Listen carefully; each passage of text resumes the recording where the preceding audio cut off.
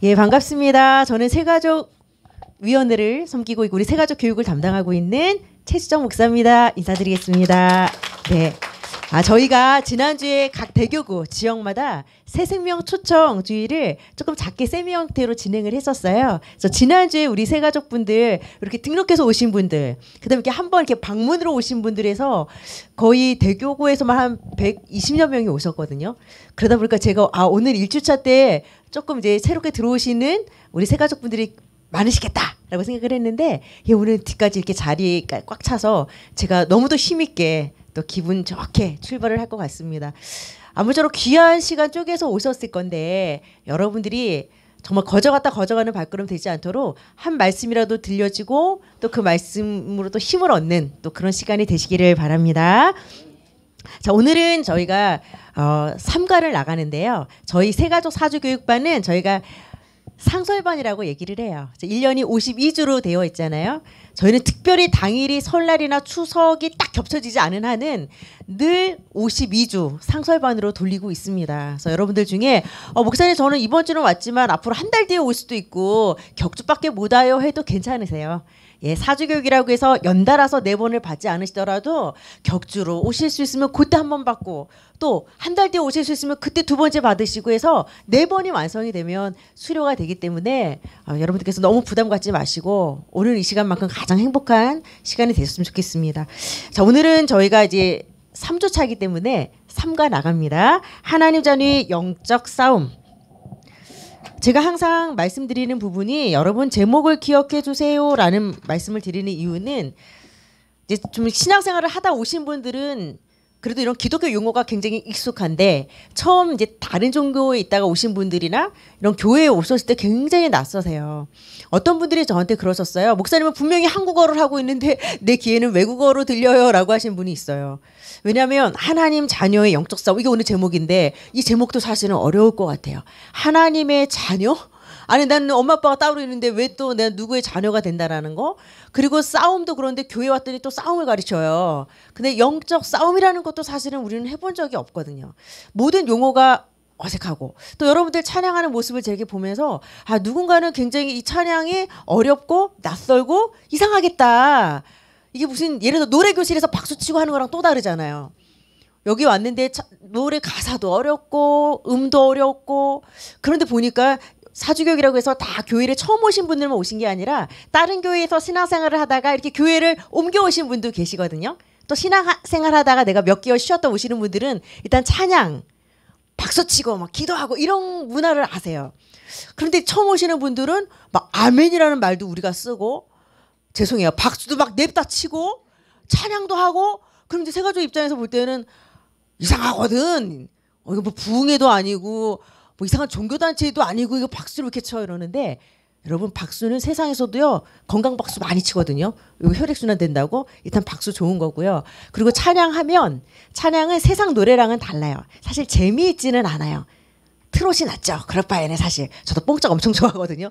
사실 세상 노래가 난데 이 찬양은 재미로 부르는 건 아니지만 찬양할 때 내 안에 슬픔, 어두움, 저주, 나쁜 게 떠나가고 기쁨이 임하는 굉장히 놀라운 비밀이 있어요. 그리고 이제 이렇게 메시지 하다 보면 또 아멘을 외쳐주시는 분들이 있는데 이것도 조금 어색하신 분들이 있, 으 세요 근데 내가 굳이 아멘 안 하고 싶으면 안 하셔도 돼요. 근데 그, 그 뜻은 엄청 좋은 뜻이에요. 좋은 설교 말씀이 나갔을 때 예를 들어 뭐 저주의 말씀이면 나쁜 얘기할 때 아멘 안 해요. 보통 축복의 얘기, 좋은 얘기 했을 때 아멘을 하시거든요. 그거는 어 그거 내 거예요. 나도 그 축복 받고 싶어요. 나도 그렇게 살고 싶어요.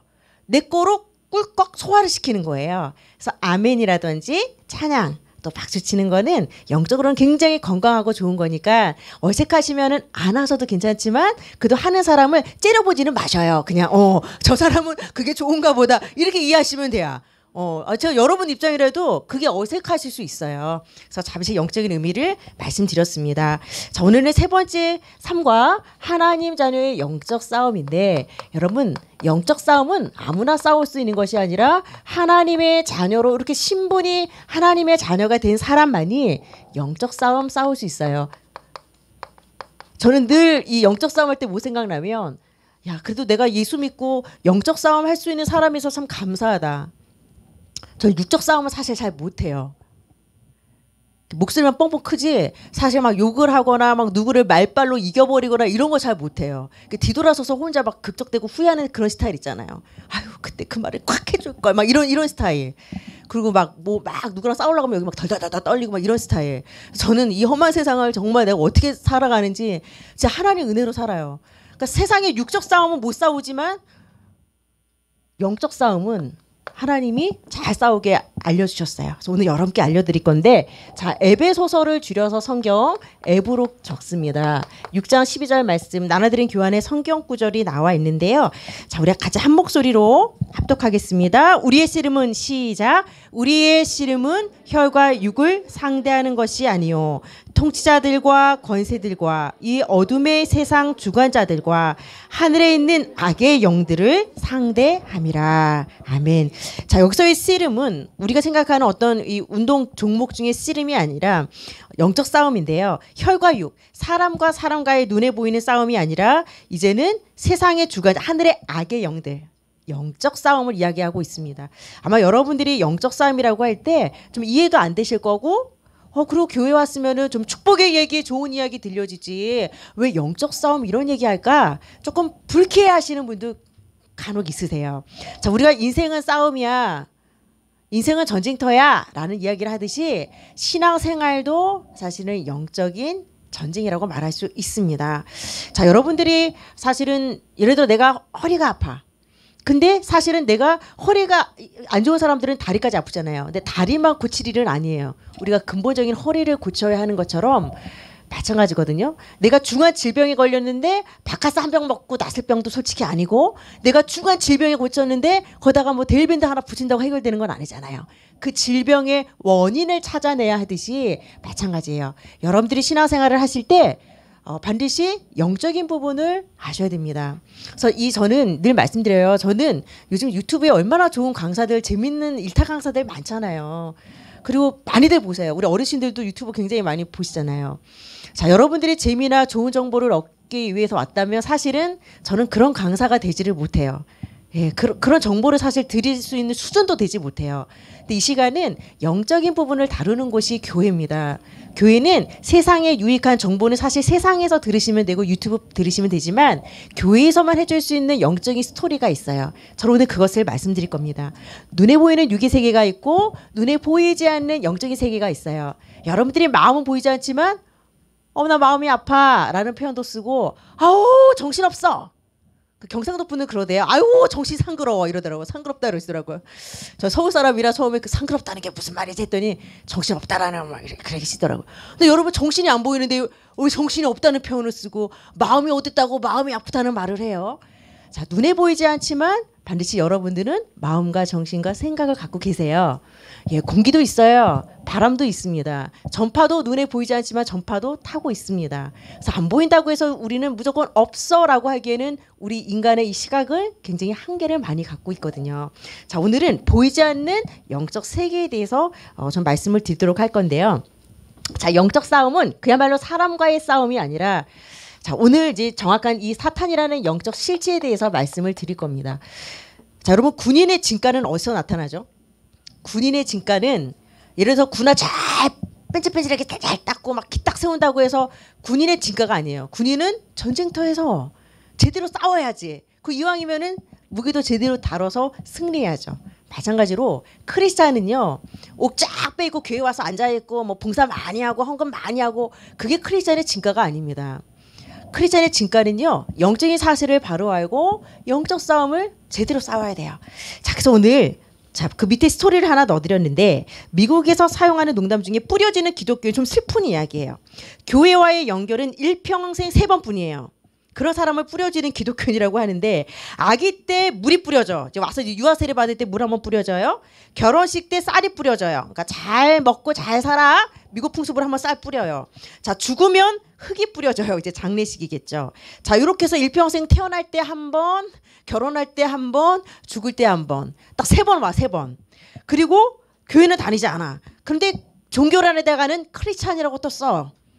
자, 여러분, 이런 분들을 볼 때, 아, 부럽다고 생각하시면 안 되는데, 어, 이거 교회 이거 딱 세번 오니까 좋네. 뭐 이러신 분들 있을 것 같은데, 사실 우리가 이런 분들을 보고 막, 어, 믿음 되게 좋다. 이런 사람들은 막 제대로 응답도 누리겠다라고 생각은 안 하실 거예요. 어, 이렇게 해서 어떻게 믿음이 잘하지?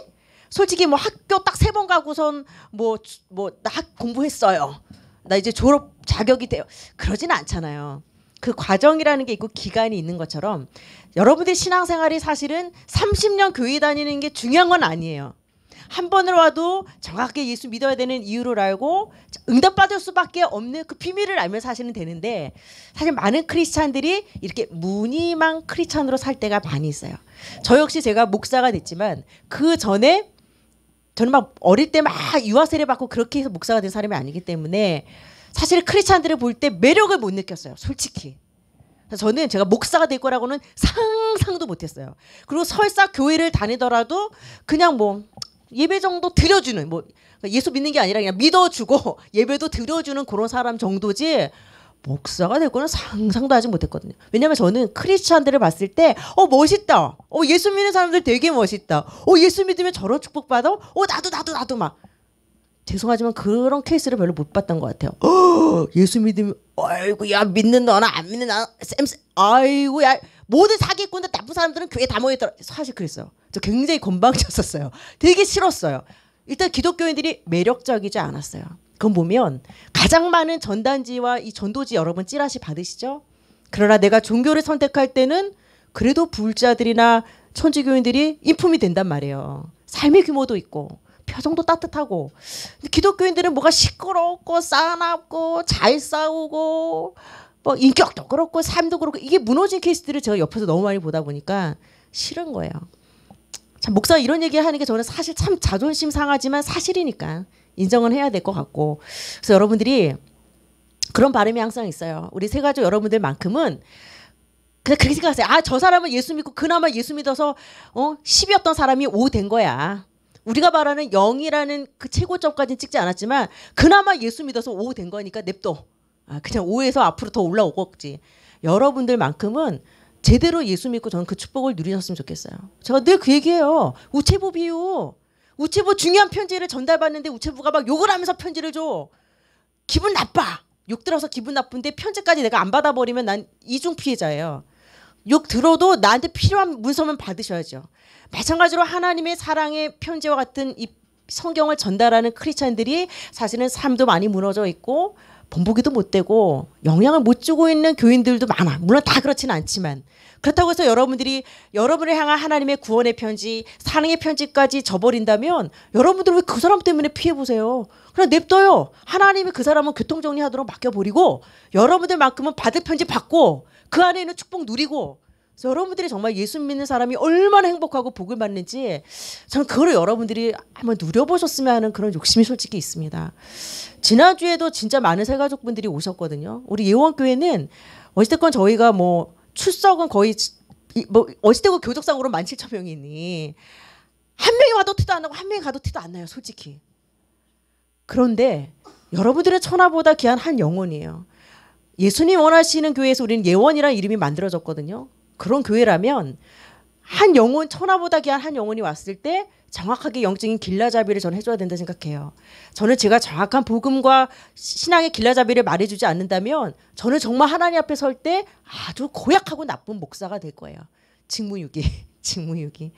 여러분들만큼은 첫 단추를 제대로 끼셔서 헤매지 마시고 예 제대로 복음 듣고 이 축복을 바로 좀 누리셨으면 좋겠습니다. 제가 오늘 꼭 이렇게 꼭 대본에 없는 얘기들이 떠든다니까요. 제가 여러분 오늘 영적 실체 첫 번째 여러분 교환해 보시면 열적 실체 이 사탄에 대해서 말씀을 드릴 거예요. 어, 교회 오면은 축복의 얘기, 은혜의 얘기도 많은데 왜 꼭 이런 사탄 얘기를 할까? 예, 저도 좋은 얘기를 하고 싶지만 자 성경에서만이 이 사탄의 실체에 대해서 이야기를 하고 있습니다. 그래서 사탄막이 같은 뜻이에요. 자, 근데 이걸 말씀드리는 이유는 어, 실제로 많은 기독 청년들이 무속 채널, 무속 채널에 몰리기도 하고 왜? 그리고 무당을 찾아가서 물어봐요. 왜 이건 미래에 대한 불확실성 그걸 해소하기 위해서 그리고 또 나름대로 상담도 받기 위해서 찾아가요. 그거 오- 오늘날 지금 굉장히 이런 무속 콘텐츠들이 굉장히 많이 확산이 되어지고 있습니다. 많은 기독교인들이 사실 어, 점집에 가고 싶지만 차마 내가 교회를 다니니까 차마 이러니까 이제 몰래 가지 몰래 가지. 예, 궁금하고 뭐 교회에서는 기도해 봐라. 뭐 하나님의 뜻이 있을 거다 이러는데 무당은 기다리란 말은 안 해. 일단 가면 되잖아. 가면 일단 뭐라도 얘기해주고 뭐 부적이라도 써주고 하니까 긁어주니까 기다릴 거 없이 바로바로 답변이 오지 않겠습니까? 자, 우리는 기독 신자니까 무조건 무당집 가면 안 돼. 이- 이러면 나는 힘들 것 같아요. 왜 가면 안 되는지 그리고 왜 우리에게는 진짜 답이 따로 있는지 이런 걸 얘기해줘야지 아이한테 이거 좋아서 막 갖고 노는 아이한테 막 그거 뺏어봐요. 애 울잖아. 근데 더 재미있는 거 주면은 이거 내려놓고 그거 붙잡을 판이에요. 그처럼 신앙생활도 저는 그렇다고 생각을 해요. 아유 무조건 예수 믿으니까 그런 거 묻지도 마. 그런 거 자꾸 질문 많으면 그거 그거 믿음 없는 거야. 무조건 믿어. 아, 나 너무 힘들 것 같아요. 근데 무조건 믿어야 되는 대목은 있어요. 어떻게 이거는 설명하다 보면 성경이 막 배가 산으로 가. 그래서 이거는 제가 설명할 수 없는 영역이 있어요. 막. 그러나 대부분은 영적인 공식이 있고 룰이 있어요. 그걸 설명해 드리면 여러분들이 한 걸음 더 믿음으로 나아갈 때 훨씬 쉽게 믿음을 가질 수가 있습니다. 실제로 어느 분이 그 얘기를 했어요. 친구가 6개월 동안 가출을 했어. 근데 죽었나 살아나를 몰라. 그러니까 그 친구 엄마가 교회 집사님인데 기도하시면 되잖아. 무당 찾아가가지고 내 자식이 지금 죽었는지 살았는지 좀 알아봐 주세요. 그러니까 이제 무당이 이제 얘기를 해줬겠죠. 그러니까 이제 이, 이 친구가 볼 때는 어 저분은 교회 집사님인데 왜 하나님을 의지 안 하고 왜 왜 점집에 가지? 이 케이스 막힌 거예요. 오늘날 그래요, 여러분. 제가 아까 뿌려지는 기독교는 말씀드렸지만 교회당이라는 건물은 30년, 40년 다닐 수 있어요. 여러분들이 오늘 오신 곳도 예원교회라는 건물을 오신 거예요. 근데 중요한 거는 이거는 건물이에요. 여러분들이 교회의 축복을 누리셔야 되는 게 내 안에 정말 하나님의 영이 함께 하시고 내가 응답받고 하나님께 물어보고 하나님이 내 삶을 주관하신 삶으로 가야 되는데 사실은 많은 기독교인들이 교회당이란 건물은 열심히 다녀. 그러나 문제 사건이 왔을 때는 하나님 의지하는 것이 아니라 일단 내 방식대로 무당 찾아가야 되고 내 방식대로 우리 150도 안 되는 IQ 돌려야 되는 겁니다. 자, 그래서 오늘 굉장히 중요한 영적 싸움에 대해서 말씀드릴 건데요. 저는 이 영적 실제 사단에 대해서 왜 말씀을 드려야 된다 생각하면 누군가가 여러분 집에 담을 넘어가요. 누군가가 여러분의 지갑을 쓰리하려고 도둑이 손을 대고 있으면 여러분은 보면 어 그 잘 잘 집어가도록 이렇게 지켜봐 주는 사람 없어. 도둑이 담을 넘는데 막 응원해주고 막 그 같이 봐주고 옆에서 도와주면 그건요 때 도둑하고 뭐 친척이거나 아주 친한 도격하는 사람 아니면 그 공범하는 사람 아닌 이상은 그렇잖아요 도둑이에요라고 외쳐줘야죠. 자 여러분 인생을 좀 먹는 영적 강도와 같은 실체가 있습니다. 성경에서는 분명히 사탄이라고 이야기를 하고 있습니다. 자, 이 사탄 마귀의 실체에 대해서 오늘 말씀을 드릴 건데요. 많은 분들이 그래요. 아, 사탄 마귀 21세기 과학 시대에 그런 게 어딨어? 말도 안 돼. 말이 안 될 수도 있죠. 그런데 여러분들이 지금 이 지구를 보세요. 하나님이 계시다면 이 세상이 이 모양이 꼴이 될 수 있어. 그렇잖아요. 기근과 전쟁과 막 각처의 재앙이 일어나고 그쵸. 거 봤을 때 여러분들이 막 의문이 일어나잖아요. 솔직히 신이 있다면 이럴 수 있을까? 근데 우리는 하나님에 대한 원망은 막연하게 하지만 사탄이 이 지구를 병동으로 만들어 놨다는 것에 대해서는 사실 잘 몰라요. 예, 영적인 이 실재를 모르니까 사탄이 가장 다루기 쉬운 존재가 있어요. 사단의 존재를 알지 못하는 사람, 사단의 존재를 부인하는 사람. 어차피 사단의 존재를 부인하고 알지 못하니까 사단은 그 사람을 갖고 놀기가 너무너무 좋은 거예요. 내가 쓰리 맞는지 모르는 사람은 쓰리 당할 수밖에 없듯이 사단의 실체를 모르면 당할 수밖에 없는 겁니다. 그래서 우리는 영적인 사실을 알아야 돼. 우리가 이 병법지도 나와 있잖아요. 자기를 알고 적을 알면 백전백승이라는 말이 있듯이 오늘 그 대상에 대해서 말씀을 드리도록 하겠습니다. 사탄은 반역자라는 뜻이 있고 마귀는 이간자라는 뜻이에요. 자, 우리가 같은 의미입니다. 사탄 마귀. 자, 여러분들이 귀신이라고 하면은 저는 어릴 때 전설의 고향이나 이런 데 보면 귀신 막 구천에 막 하늘 품고 막 처녀 귀신 막 하늘 못 풀고 막 피 흘리고 막 흰 소복에 머리 풀고 그래서 저는 사람이 죽어서 귀신이 되는 줄 알았어요. 근데 사람은 죽어서 귀신이 되는 존재가 아니라 원래부터 존재하는 악한 영을 귀신이라고 합니다. 그래서 사탄 마귀는 여러분 대장으로 보시면 되고요. 귀신은 쫄개라고 말해요. 쫄개, 쫄개, 쫄병이에요. 쫄병. 예. 쫄병 이런 차원의 이해를 하시면 되는데 자 요즘 시대에 뭐 이런 얘기를 하냐라고 할 수 있지만 저는 너무너무 정신적으로 아픈 분들 많이 봤어요. 여러분 그런 생각 많이 들지 않으세요? 내 개인의 이야기가 됐고 우리 가족의 이야기고 내 친척 내 이웃의 이야기예요. 지금 너무너무 사람들이 마음이 병들었고 정신이 병들어 버렸었어요. 정말 아깝다라고 싶은 생각이 들 정도로 너무 많이 보고 들리고 귀신에게 시달리는 사람들도 저는 너무 많이 봤어요. 저희 교회에 오시는 새 가족분들도요. 그런 분들도 많으세요. 그런데 복음 안에서 많이 또 회복이 되어지고 계시거든요. 그래서 우리는 사실 눈에 보이지 않다고 해서 없어라고 말할 수는 없어요. 근데 모든 사람들이 사실 귀신에 시달리지는 않아요. 저도 예수 믿기 전에 뭐 가위에 눌리고 악몽 꾸는 정도지 막 귀신이 보이고 시달리고 그러지는 않았어요. 그러나 여러분 마음에 평안이 없고 불안하고 근심 걱정이 있고 또 말할 수 없는 상처들과 트라우마가 있고 또 사람들과 관계가 무너지고 내 가정이 깨져버리고 그거는 솔직히 하나님의 역사는 아니에요. 그래서 누구나 사단 사단에게 있어서 누구나 다 사단이 공격할 수 있는 대상이 되어질 수 있습니다. 그래서 여러분들은 오늘 엄청난 걸 얻어 가시는 거예요. 영적 사실을 알고 간다. 사단의 입장에서 오늘 되게 배가 아픈 날이 될 거예요. 어, 내 실체가 드러나는 날이거든요. 자, 여러분 사단 마귀의 귀신. 자, 이 출현이 언제 나타나면 여러분 선악과라고 들어보셨을 겁니다. 창세기 3장에 보면 하나님께서 첫사람 아담에게 하나님이 창조하신 첫사람 아담에게 선과 악을 알게 하는 나무의 실과를 먹지 말라. 먹는 날에는 정령 죽으리라. 라고 말씀하시거든요. 궁금했어요, 저는. 아니, 이놈의 선악과가 뭔데 이거 하나 따먹었다고 그 에덴 동산에서 내어 쫓고 내어 쫓았다가 또 뭘 구원한다고 예수님을 보냈다가 만들지 말던가. 어? 이거 따먹을 거 하나 신이 그걸 몰라서 만들어 놓고 따먹으니까 또 해결책 만들고. 궁금했어요. 그리고 과일 하나 따먹은 게 그렇게 잘못이야. 그런데 선악과는 그냥 과실 차원이 아니에요.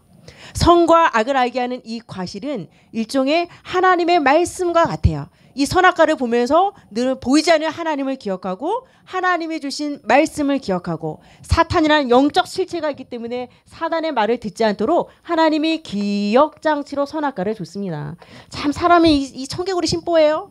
99.9999999 에덴 동산에 있는 거 모든 거 다 인간이 정복하고 다스리고 다 먹을 수 있어. 한데 왜 0.0000001% 이거 먹고 싶냐고. 참 그쵸 하지 말라는 거 한다니까 그 인간 심리가. 그래서 선악과는요 자유의지 하나 인간에게 자유의지 줬어. 오늘 여러분 오실 때 로봇처럼 삐리삐리삐리 6월 18일 10시 너희들은 지금부터 세가족 사주교에게 와라 해서 여러분들이 뭐 삐리삐리 안 왔잖아요. 여기서 막 올까 말까 갈등도 하다 왔잖아요. 막 끌려오신 분도 있고 썰레임을 갖고 오신 분도 있고 하나님은 인간을 창조하실 때 여러분 자유의지라는 걸 줬어요. 자유의지 이거는요 내가 나의 지정의를 갖고 선택할 수 있어요. 오늘 어쨌든 여러분들이 내 의지를 갖고 가야겠다. 에이, 그래도 뭐 네 번은 약속했으니까 가야겠다. 오셨잖아요. 마찬가지예요. 선악과를 따먹을 수도 있고 안 따먹을 수도 있어요. 하나님은 우리를 로봇처럼 딱 세팅해놓고선 안 따먹도록 하지 않아요. 하나님은 우리에게 주신 지 정 의를 통해서 하나님 말씀에 자원, 자원하는 마음으로 순종하기를 원하거든요. 자, 그럼 안타깝게도 뱀 속에 들어간 사탄, 이 사탄의 유혹에 넘어가서 하나님이 먹지 말라고 한 이 선악과를 따먹게 되어집니다. 그것이 바로 선악과 범죄라고 오늘 교환에 적혀 있습니다. 여러분 사탄 마귀는 타락한 천사, 거짓의 아비 이게 다 사탄의 별명이라고 보시면 돼요. 공중 권세 잡은 자, 세상 임금, 꼭 영적 도둑처럼 사탄은요 어떻게 활동하냐 대상을 가리지 않습니다. 성경에 보면 이 마귀가 예수님을 시험하는 장면도 나와요. 희한하죠, 여러분. 강 크게 예수님을 시험을 해요. 그러면 우리도 시험을 하냐? 하죠. 하죠. 교회 안에 들어오면 안전해. 예수 믿으면 이제 사단이 믿는 자도 안 건드리고 그러지 않아요, 여러분. 사단은요, 믿는 자도 건드리고 안 믿는 자도 건드려요. 자, 근데 우리에게는 이길 수 있는 그 비밀을 주셨다는 그 차이가 있습니다. 자, 사단은 어떻게 활동을 하느냐? 사단은요, 하나님을 대적했어요. 타락한 천사장이에요. 원래 하나님을 찬양하던 천사가 하나님처럼 되려고 하나님 자리를 엿본 겁니다. 하늘로부터 전쟁이 일어난 겁니다. 자, 하나님을 대적했고, 광명한 천사라는 것은요, 꼭 그럴싸하고 좋은 모습으로도 속여요. 사단은 무조건 재앙을 갖다 주지는 않아요. 너무도 그럴듯한 이론과 철학을 갖고 또 눈에 보이는 걸 갖고 야 이거 줄 테니까 예수 믿을 필요가 없게끔 만드는 거예요. 나에게 일확천금이 있으면 여러분 솔직히 여기 와 있겠습니까? 내가 오늘 로또 복권 당첨됐으면은 굳이 나는 여기 와서 앉을 이유가 있겠습니까? 뭐가 갈급하겠습니까? 그거 있으면은 웬만한 문제 다 해결되는데 대부분은 경제 문제, 건강 문제잖아요. 우리 문제가. 자, 사단은요, 그걸 알아요. 그래서 때로는 어느 분들이 그래요. 목사님, 제가 좀 살만하면 그때 예수 믿을게요. 내가 조금 돈 좀 벌고 애들 좀 좀 키워놓고 요 사업 급한 불 좀 끄면 그때 조금 정신 나면 올게요. 여태 안 오셨어. 여태 안 오셨어. 왜 여태 안 오신지 아세요? 뿌리 뽑힌 나무가 내가 나중에 열매 좀 맺고 행복해지면 땅 속에 뿌리 내릴게요. 이거랑 똑같아요. 물 떠난 물고기가 내가 일단은 물 밖에서 좀 마음껏 놀다가 좀 행복해지면 그때 물속 들어갈게요. 이거랑 똑같다니까요. 물속에 들어와야 행복해요. 땅 속에 뿌리를 내려야지 열매도 맺어요. 여러분들 일단 하나님 안에 뿌리를 내리는 인생 속에 하나 주시는 경제 축복도 있고요. 진짜 주시는 축복 누려야죠. 물론 예수 안 믿는 분들도 사업 대박 나신 분들 많아요. 예수 안 믿는데 예수 잘 믿는 내 아들은 저기 지방대 어디 전문대 갔는데 예수 안 믿는 저 집 아들은 서울대 간다니까요. 그럼 여러분들 화나잖아. 어 예수 믿는데 아, 공부 안 했는데 사기꾼 싶보죠. 그렇죠? 자 여러분 어느 정도 노력하면 불신자들도 어느 정도 성공은 해요. 서울대 가요. 박사도 되고 올림픽 나가서 메달도 따요. 예수 믿는 선수는 못 땄는데 예수 안 믿는 불신자는요 막 금메달도 따요. 노력했으니까. 그러나 성공한 뒤에 무너지는 인생을 기억해 보세요. 정말 무서운 거예요. 하나님 주시는 축복은 성공 뒤에 무너짐이 없어요. 그런데 어느 정도 자리에 올랐어. 행복해야 돼. 실제로 정신병에 사실 서울대 친구들이 많이 있어요. 하나님을 아는 지식이 아니라 세상의 그 높아진 지식 때문에 사실은 머리가 도는 친구들도 많이 있어요. 자, 여러분 제가 오늘 말씀드리는 거 사탄 나랑 하, 상관없어. 이거 아니에요. 내 인생에 이미 많이 개입되어 있습니다. 사단이 던진 사주 팔자 운명이라는 덫에 모든 인간들이 다 걸려 있습니다. 여러분 가문을 통해서 나에게 와 있는 문제가 있어요. 제가 여러분 음, 아이들 교육을 오래 했었어요. 실제로 상담 공부도 하고 어, 또 거기 관련된 책 이런 클리닉 동화 이런 것도 만들고 어, 그리고 실제로 교회 학교에서 20년 동안 아이들 교육을 하면서 느꼈던 건 딱 두 가지요. 20년 딱 집결. 첫 번째 부모의 축소판이 자녀다. 어쩔 수 없어요. 부모 보면 자녀가 보이고 자녀 보면 부모가 보여요. 아이는 하늘에서 뚝 떨어진 존재가 아니니까. 엄마 아빠의 눈코입도 닮지만 엄마 아빠의 모든 기질을 다 닮아요. 고집 센 놈 이러지만 부모가 일단 고집이 세세요. 그리고 곱하기 77배예요. 아이들은 고집이 더 세요. 원래 그래요. 인풋 아웃풋이에요. 그리고 또 하나 좋은 나무는 좋은 열매 맺는다라는 걸 결론 내렸어요. 열매 탓할 거 없어요. 나무가 건강하면요 열매는 건강해요. 근데 부모가 비실비실하는데 열매 나쁘다고 탓할 거 하나도 없어요. 아, 정말 부모가 영적으로 건강하고 정말 자녀를 위해서 후, 기도해주는 부모가 된다면 아이들은 걱정 안 하셔도 돼요. 생물학적으로 우리가 먼저 떠나도 우리 아이들은 이 험한 세상 살아갈 수 있습니다. 여러분들 오늘 기억하셔야 될 거 여러분들이 지금 후대를 다 건드려 놨어요. 이 사단은요 그냥 뿔 달고 나타나서 막 귀신처럼 피 흘리는 그런 존재 아니라니까요. 여러분 생각 속에 파고들어서 근심 걱정 염려로 마음을 눌러버린다니까요. 하나님 자녀지만 삐릿삐릿하게 그냥 또라이처럼 아무 무능한 존재로 그냥 크리스찬들을 그렇게 망가뜨려 놨다니까요.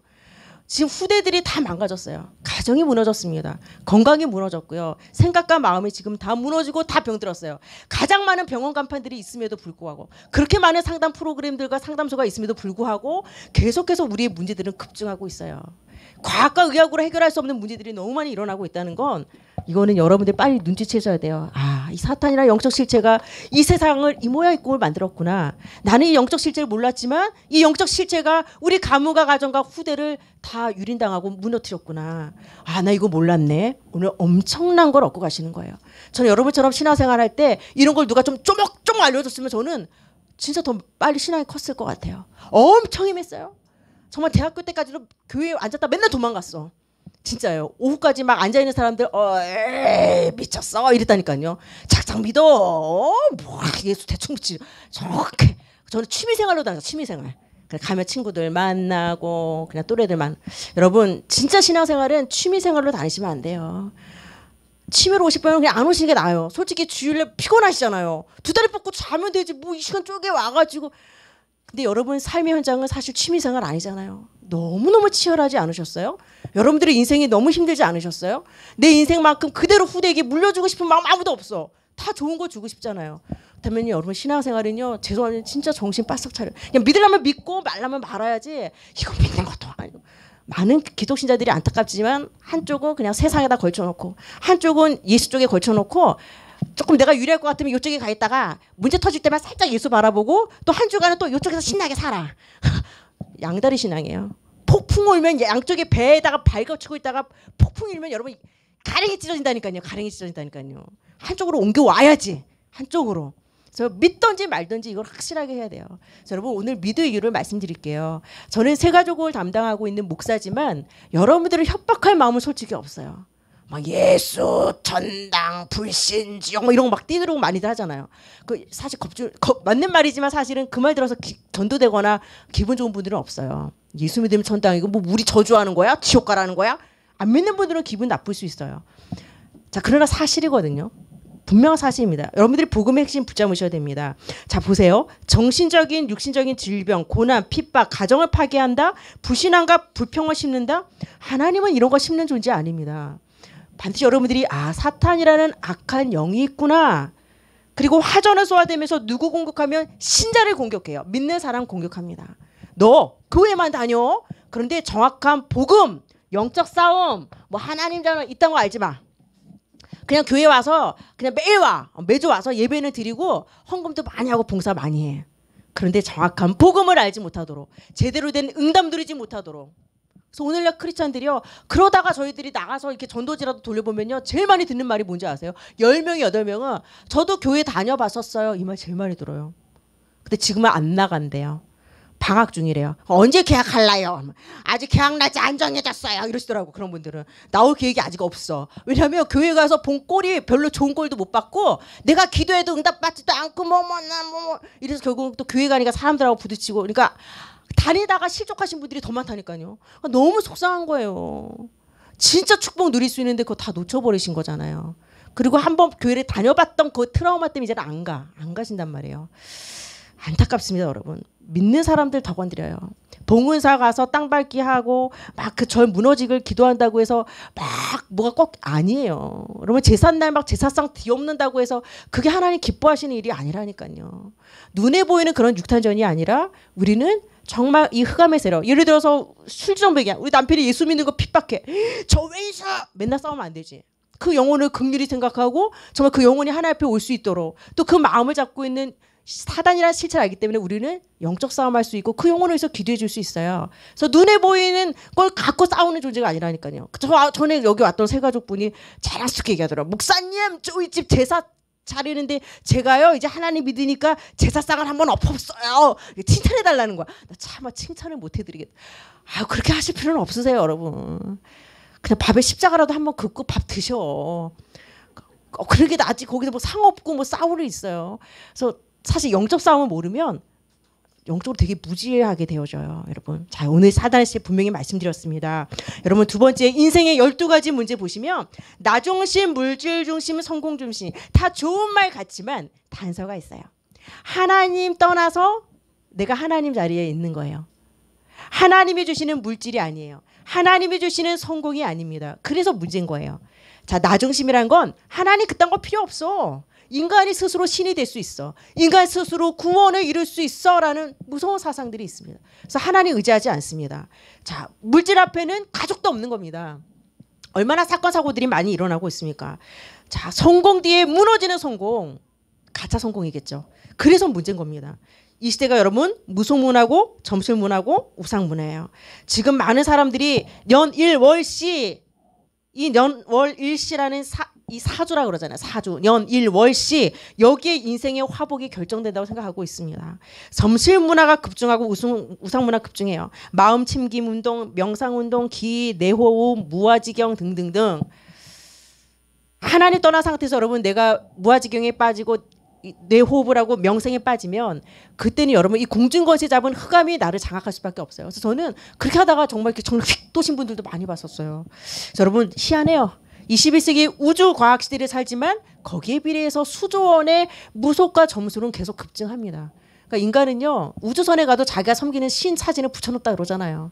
인간만이 아무리 우주 시대이지만 영원한 걸 사모하는 마음이 여기 딱 DNA가 장착돼 있어요. 그 인간이에요. 개고양이가 신을 찾거나 비전을 갖거나 전세값 떨어졌다고 자살하거나 물가가 비싸다고 우울해지는 법은 없어요. 인간만이 그런 존재입니다, 여러분. 자, 그다음에 여러분 작은 7번부터 이거는 불신자 상태예요. 하나님을 떠나 마귀 자식으로 마귀 완전히 장악하고 있어요. 우상 문제, 하나님이 아닌 어떤 거에 내가 완전 집착하고 그걸 하나님보다 더 사랑하고 하나님과 맞바꿔 버렸어요. 정신적인 문제, 스트레스와 허무와 불안 속에 육신의 문제, 각종 우환 질고가 끊이지 않습니다. 내세 문제, 이 땅에서도 지옥같이 살다가 죽어서도 내세 영영한 지옥불에 떨어질 수밖에 없어요. 우리 세 가지 여러분만큼은 죽음을 당하지 마시고 죽음을 맞이하셔야 돼요. 이해되세요? 죽음을 당하는 건 내가 준비되지 않은 상태에서 그냥 오는 거예요. 근데 하나님 자녀가 되어지면 천국 백성으로서 영, 영원한 생명을 얻기 때문에 우리는 죽음을 당하는 것이 아니라 죽음을 맞이하는 자가 됩니다. 자, 후대 문제 저는 이거 진짜 이거 진짜 여러분 여러분이 예수 믿으면요 후대 후대까지 하나님 분명히 복을 주신다고 약속하셨어요. 저는 그게 너무 감사했어요.